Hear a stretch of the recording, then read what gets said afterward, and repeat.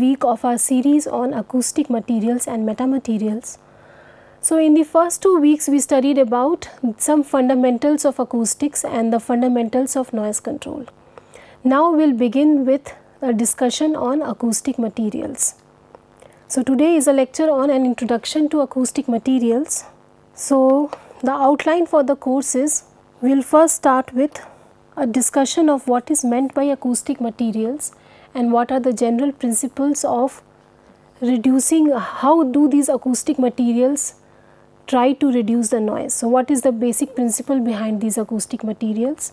Then a classification of some traditional acoustic materials. So, in this in the next two weeks over the next two weeks what we will study is some standard acoustic materials which are being widely used since uh, since a lot of time now. So, these are the traditional acoustic materials and then after that from the fifth week onwards we will discuss about what are the limitations of acoustic materials and we will delve into a new type of material called as the metamaterial. So, today here we will do the classification of the traditional acoustic materials and then how is the performance of these materials measured. So, we have different mm, different way of measuring the performance one is called as the noise reduction coefficient or rather noise reduction then we have transmission loss, insertion loss and absorption coefficient.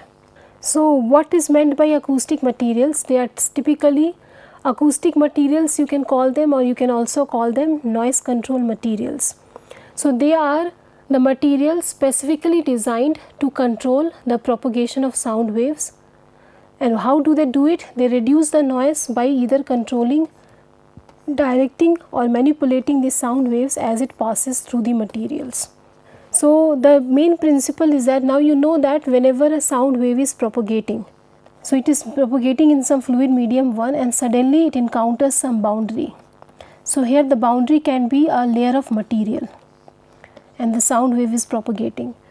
Then whenever it encounters the boundary, then a part of energy is reflected, some part gets transmitted and when there is a material then some part of it also will be dissipated. So, to give you a schematic here, suppose we have placed a layer of material and this is where this is where the source is. So, the source is generating the sound wave and we have placed a material in between. So, how do these waves interact? They will some part of the energy is reflected, some part is transmitted and some part of it is lost or dissipated when it passes through the materials. So, it, it can depend upon the structure of the material. So, the material can offer some resistance to flow and that is why some of the inner sound wave energy gets converted into heat due to the friction faced while passing through the layer of material. So, all this happens and by manipulating this phenomena either by controlling reflection, dissipation and transmission the different materials they control the uh, sound they control the noise by manipulating these things. So by controlling reflection transmission and dissipation.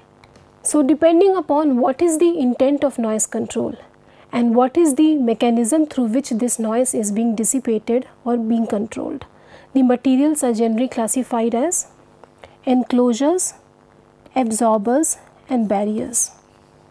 So what is the basic difference between these three so, let us say we again refer to the same diagram. This is how the interaction takes place in a material.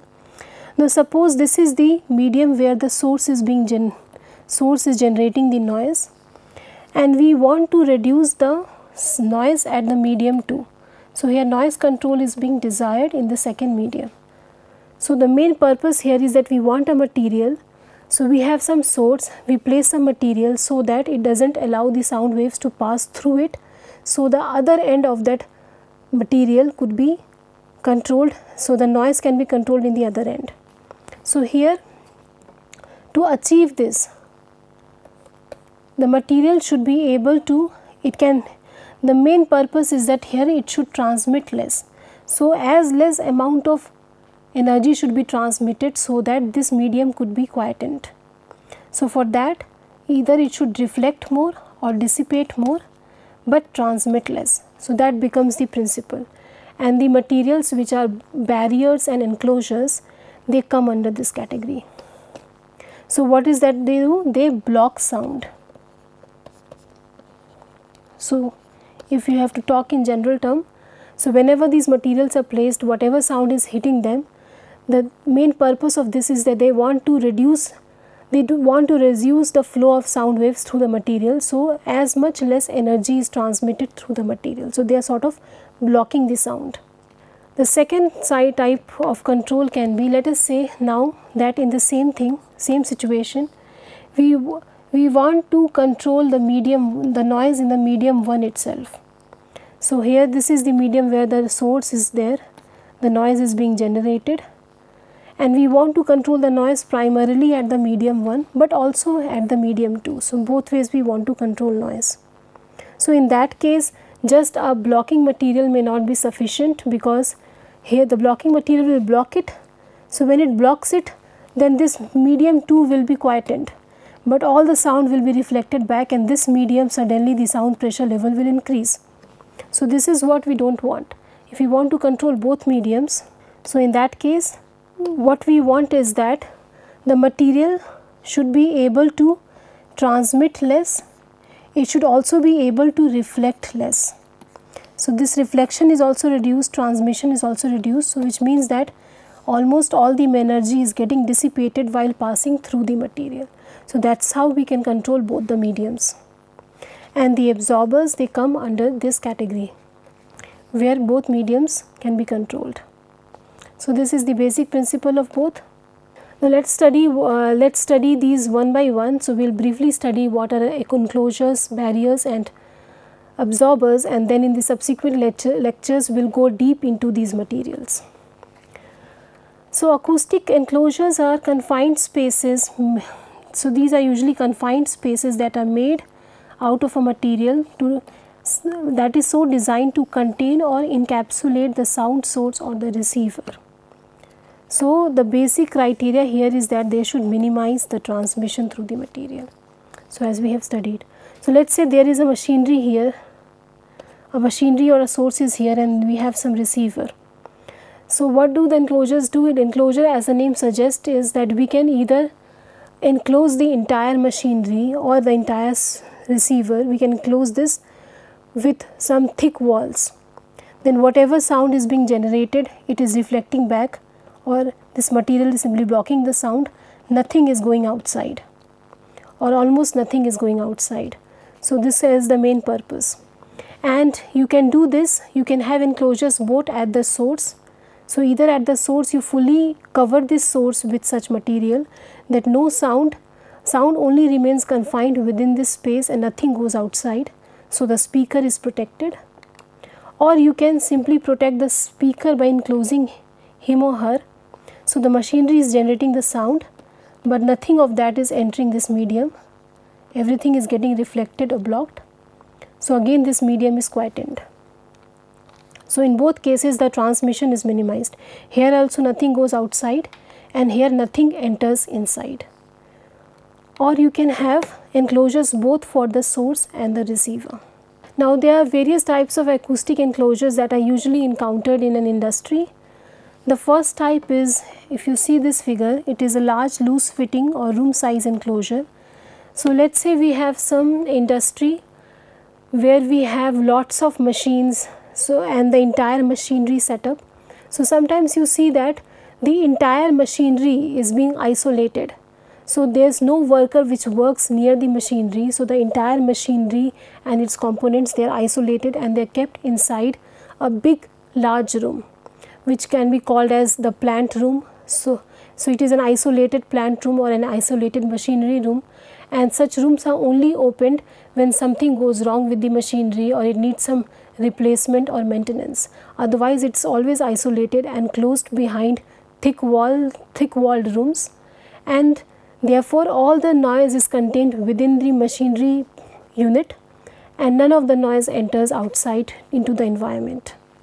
So, such large rooms can be used and they are the best way to protect everyone within the industry, but as you see it requires large amount of construction, more amount of material, so it is more costly.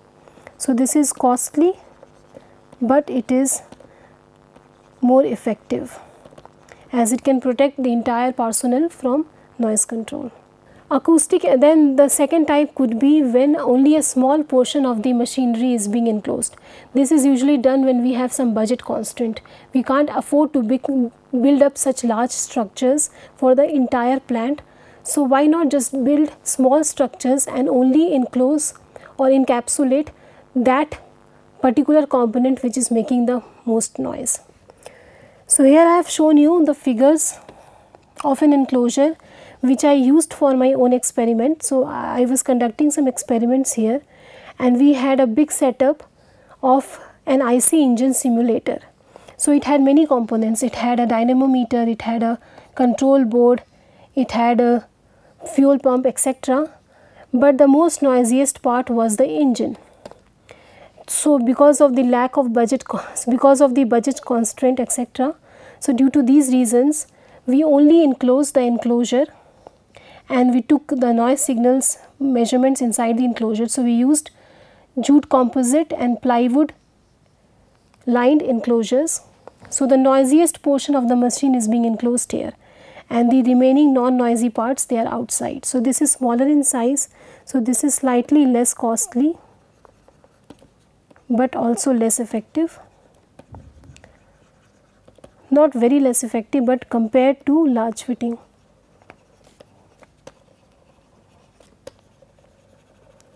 Fitting enclosures. So, only small part is uh, and so this is usually less costly. If you go further down even even less costlier approaches, even less costlier approaches.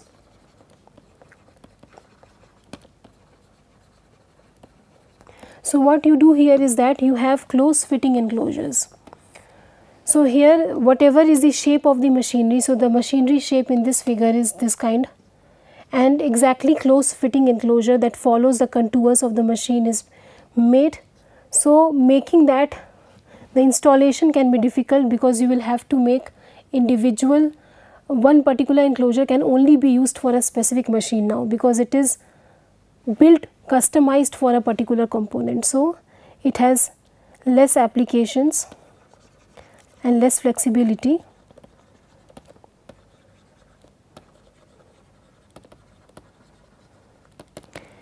But it is less costly as well and you can achieve effective uh, and effective noise control, but it is not flexible, it is more customized approach. Then sometimes in many of the industries the pipes or the ducts they are also very important source of noise. So, usually these pipes can be lined with some absorbing materials or lagging materials and noise can be controlled. So, this is also a form of enclosure. So, when we have we have seen the different types of enclosures that are usually found, then what is a barrier? The barrier is as the name suggests is simply defined as an obstacle that is placed between a noise and a source. So, the, the sorry that is placed between a noise source and a receiver. So, suppose we have a source here that is generating all the noise, we have a receiver here, we place a big wall or some, uh, some blocking material in between. So, what will happen? First of all, the transmission here will be reduced. So, the waves will be reflected back. The waves are getting reflected back and the transmission is being reduced. And even at the and at the edges of these barriers, the wave is getting diffracted so it is turning away. So, just like how the light waves undergo diffraction when they hit here they undergo diffraction and their direction changes. So, a small zone is created where the, sound waves are almost less no sound wave is reaching which is called as an acoustic shadow and the listener can be placed here. So, barriers and enclosures they both have similar kind of materials because they both want to minimize transmission and they want to block the sound. But barriers are more like they are not full enclosures but they are rather obstacles placed. The third type of material is the absorber. Now this is usually in the form of material layers or linings that are placed along the noise path and the receiver. For example, some absorbing material can be added to the headphones or the ear mufflers of a receiver and then uh, along the noise path the walls can be lined with noise absorbing material and the purpose is that it dissipates the sound energy. So, it, it reduces the reflection as well as the transmission. Some common absorbing materials are you must have seen a typical sponge that you use in household. So, that sponge is what? It is a it is a commercial name for polyurethane foam. So, this polyurethane foam or sponge as you call it is a good noise absorbing material. In fact, you can try it, you can use some sponge pieces, you insert it in your ears and something is playing. You will see that the sound reduces, it is absorbing the sound waves. Then another common material is a fiberglass. So, we will study about these individual materials in the subsequent lectures. Now, after getting a brief overview of the common noise control materials that is enclosures, absorbers and barriers, let us see how the performance of these materials is measured. So, we have some standard metrics noise reduction, transmission loss, insertion loss and absorption coefficient and all these metrics. So, what happens again in a subsequent lecture you will know about something called as a mass frequency law which I will teach you in the week week 5 so, week 5 I will teach you this mass frequency law, but what it says is that for every material the transmission and the absorption it is highly dependent on the frequency. So, it is easier for a material to uh, to reduce to, to dissipate a sound of high frequency. So, usually when high frequency sounds are incident the transmission loss will be heavy because it is easier to dissipate such sounds. But low frequency controlling low frequency is the challenging problem. Low frequencies the absorption and the transmission for the same material is less. So, usually the transmission loss as well as the absorption they are given as a function of frequency. So, let us say this is some material we have a fixed material and this can be like a graph of its transmission loss. Similarly, we have some fixed absorber and this can be the graph of its absorption coefficient with frequency. This is a typical graph. So, usually the absorption is low at low frequency and then it becomes high and reaches a limiting value. So, all these performance metrics they are dependent on the frequency of the incident sound wave and that is why they are represented not as a single value, but as a as a number as a set of values which are a function of frequency. So, let us start with the first performance matrix that is most commonly used which is transmission loss or TL. So, how is the transmission loss of a material defined? It is the difference between incident sound intensity level and transmitted sound intensity level when the sound waves hit that material. So, the difference between the sound intensity level that is incident and the sound intensity level that is being transmitted. So, this is the material given to us so, by definition this is the sound intensity level of the incident wave and this is the sound intensity level of the transmitted wave and the difference between the two will be transmission loss. So, as you see from this definition if TL is high, TL is high which means that transmission is low. So, the lower the transmission, the more the material is blocking the sound, the higher will be its transmission loss. So, material performance is better. So, it directly relates to the material performance of a barrier and the enclosure. So, if a barrier or enclosure has got high TL values which means that it is almost stopping all the transmission. So, it is a better performing material. So, this is a measurement matrix transmission loss. So, this expression we obtained this is intensity level of incident wave minus the intensity level of transmitted wave. If we use the log property then this becomes 10 log 10 you combine the two terms. So, it is minus so this divides. So, I n by I reference multiplied by I reference by I transmission. So, this is what you get this cancels out. So, what you are left with is 10 log 10 of I reference by I transmission. So, this is the expression which we get for transmission loss. Now, we have already studied a matrix called as transmission intensity intensity transmission coefficient tau. We studied this when we are discussing about sound wave propagation at medium boundary. So, we studied about absorption coefficient, reflection coefficient and transmission coefficient and I told you that this tau is very important parameter and this was defined as the ratio of the transmitted sound intensity by the incident sound intensity. This was the definition of tau. So, if you use that definition here, so this becomes 1 by tau. So, this is an important equation for calculating the transmission loss in terms of the transmission coefficient of the material 10 log 10 of 1 by tau. Now, this next uh, performance metric is an absorption coefficient or alpha. Sound absorption coefficient we have already described this metric before so, it is defined as the ratio of sound intensity that is absorbed to the sound intensity that was incident. And this total absorption is what? It is whatever value was dissipated. Total absorption means whatever is being dissipated plus transmitted. This constitutes a total absorption. So, basically what this coefficient measures is that what is the fraction of energy, what is the fraction of the incident energy that is lost in the process of reflection. So, here is the definition. So, it is I absorbed by I incident and I absorbed is anything that is dissipated plus transmitted. So, or we can write it as simply the intensity of the incident wave minus the intensity of the reflected wave divided by the intensity of the incident wave. And we know that the pressure reflection coefficient R is given by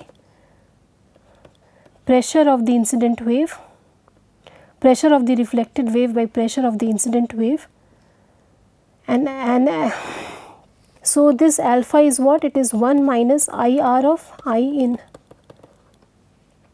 which is going to be and and we know that IR is directly proportional to PR square and II is directly proportional to PI square. So, this will be R square. So, you have I am not going through the derivation for this because we have already covered this derivation in our first lecture on sound medium sound propagation at medium boundaries. So, this is alpha which is 1 minus r square where r is the pressure reflection coefficient. Okay. Now, suppose now we have studied these two metrics now we, uh, we studied about transmission loss and alpha.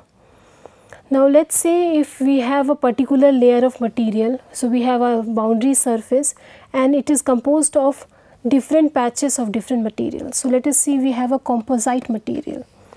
So, this is the entire block of the material which contains some individual material 1, 2, 3, 4 that have their own transmission coefficient. Then the total effective transmission loss for this will be 10 log 10 of 1 by tau bar which is the average transmission coefficient and the average transmission coefficient is obtained as you multiply this surface area of 1 with the tau of 1 plus tau of 2 with surface area of 2 with tau of 2 and so on. So, you multiply the surface area with their respective transmission coefficient and you sum this quantity over for all the materials and you divide it with the total surface area. So, this is how you can get. So, if a material is composed of different patches, so one particular block is composed of different patches with different transmission coefficient then the then the net transmission coefficient or uh, tau average can be obtained using this formula which can then be put to get the total transmission loss. Similarly, if you have the same kind of material with different patches of absorbing material then the average absorption through this entire block it can be given by the same kind of formula. So, we are multiplying the surface area with the respective trans the surface area is being multiplied with their respective absorption coefficient and then they are summed over divided by the total surface area. So, let us now briefly describe what is a noise reduction. This is another performance metric. It is the difference between the sound pressure level before and after passing through a barrier material. So, here the distance between the two is almost kept, the measurement point is almost approximately equal to like 1 meter or so. That is the standard used. And then we measure okay this was the SPL just before entering the material and this is the SPL just after entering the material. And the value of this comes out to be, so this will be the LP at 1 minus LP at 2 that is the definition which in terms of the transmission loss is TL plus 10 log alpha bar where alpha bar is the alpha of the layer of material, so the average absorption coefficient of the layer of material. The derivation again is not within the scope of this uh, particular course, but you can always go to the reference materials for further reading. Then the insertion loss, this is the last performance metric and how it is defined? It is defined as the difference in the sound pressure levels at the receiver point with and with without and with the material. So, let us say we had some source and no material was placed and at a particular point we measured this was the SPL at this particular point. And then the same source is there then now we place another uh, the blocking the layer of material in between and at the same point we take the measurement again. So, the insertion loss comes out to be here SPL 1 minus SPL 2 or simply LP1 minus LP2. So, this is the difference the actual difference is noise level when there is no material to when there is material. Okay, so we will continue with our discussions in the next lecture where we will study the individual acoustic materials one by one. So, thank you for listening for this, to this lecture.